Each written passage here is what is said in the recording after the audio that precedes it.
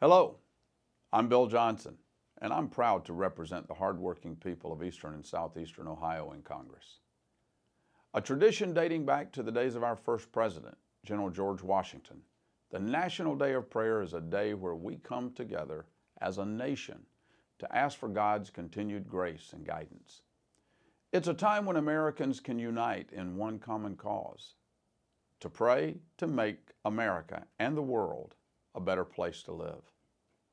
As our founding fathers deliberated inside Independence Hall on what this new nation would be, they turned to God for direction and wisdom.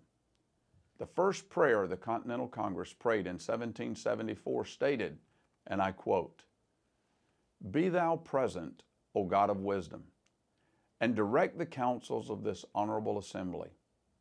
Enable them to settle things on the best and surest foundation. As your voice in the House of Representatives, these words are always at the forefront of my mind. And they encourage me as we address the many difficult challenges facing America today and in the future.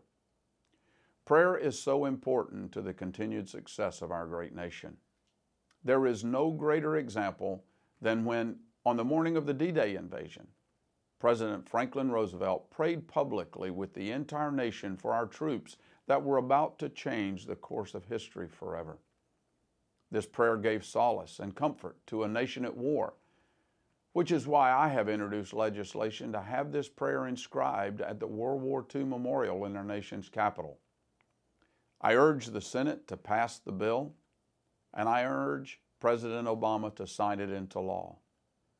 When our founding fathers created the United States of America, they created a nation founded on the concept of freedom of religion, not freedom from religion. The National Day of Prayer is an important reminder of the critical role that faith played in our nation's founding and the role that faith must continue to play if we're going to remain one nation under God, indivisible, with liberty and justice for all.